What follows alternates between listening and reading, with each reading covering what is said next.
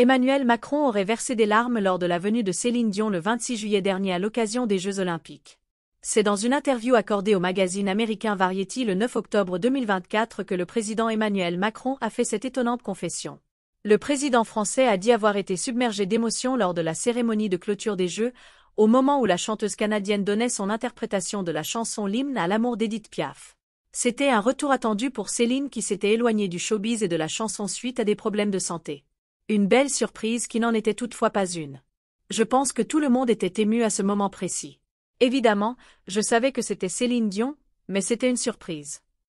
On sentait la surprise dans le public quand elle est apparue, toutes les lumières, ce moment de célébration, Céline Dion, qui apparaît soudainement près de la tour Eiffel, ainsi que la chanson elle-même, ont créé une énorme émotion.